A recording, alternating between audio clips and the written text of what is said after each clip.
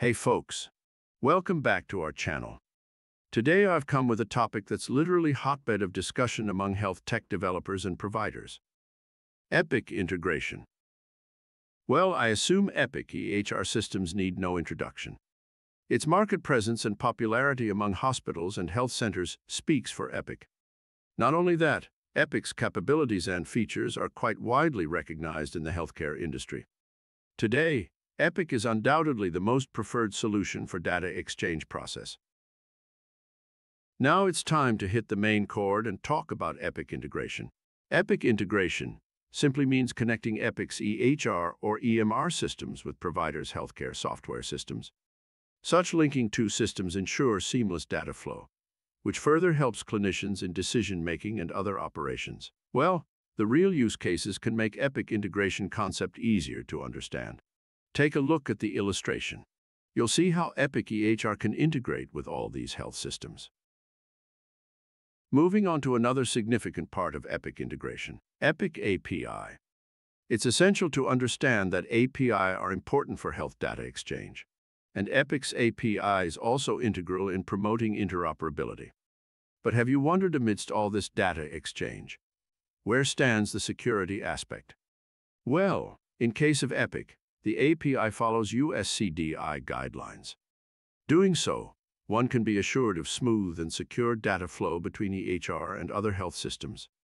Having said that, with the support of FHIR, Epic API can exchange data over the web seamlessly. These standards are really crucial for software developers, as it creates scope for integrating Epic with different applications. As a developer, you must, must keep this in mind. Let's see how integration between Health App and Epic EHR system happens, or what steps are involved. Typically, the process involves five steps. First is to check the compatibility that ensures Epic EHR supports the sites from where data will be extracted. Next is registering on uscdi.epic.com to get API key. Then, confirming that the health app or software has access to essential data needed. The next step is to get the API key and test all endpoints to ensure proper functioning. And the last step is to include API calls in the app's code to finally implement and test. On implementing the Epic integration, providers can finally reap some great benefits. And to name a few, those are quick access to medical records, achieving cost efficiency in extracting data, and scalability that helps practices with large databases. As I mentioned the benefits of integrating Epic EHR and EMR with health apps, you might wonder who'll reap these benefits of integration. Well, Epic integration typically benefits different stakeholders in the industry, including doctors, nurses, clinical specialists, and other caregivers too, because the integration helps them in decision-making and improving care delivery. Perhaps another entity who needs this integration is software developers and vendors. Of course they will because it'll bring them clients and offer a competitive edge. Moving on. Epic integration is majorly about data exchange. Let's understand this.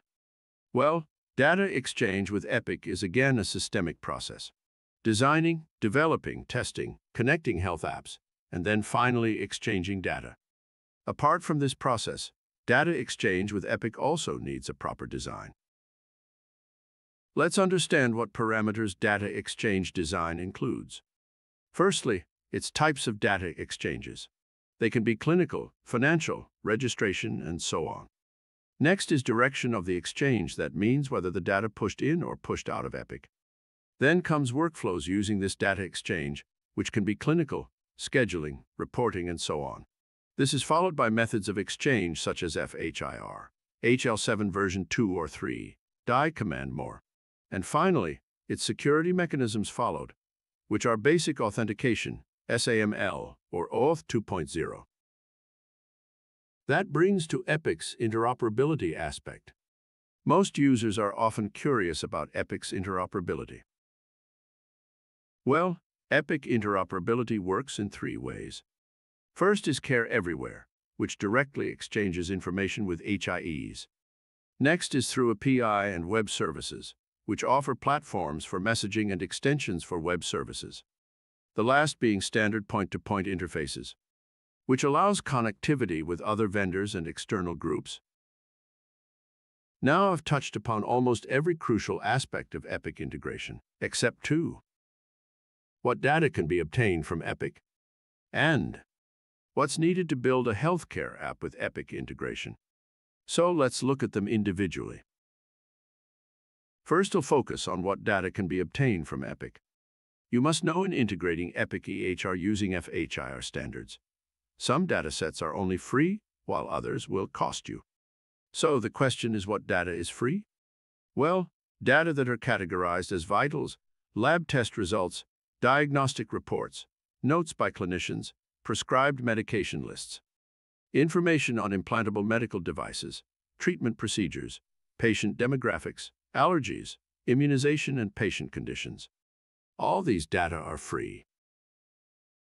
Now let's see the second aspect of Epic EHR implementation. What's needed to build a healthcare app with Epic integration? Typically, three components are needed. Number one, a server needed to be set up to host the health app.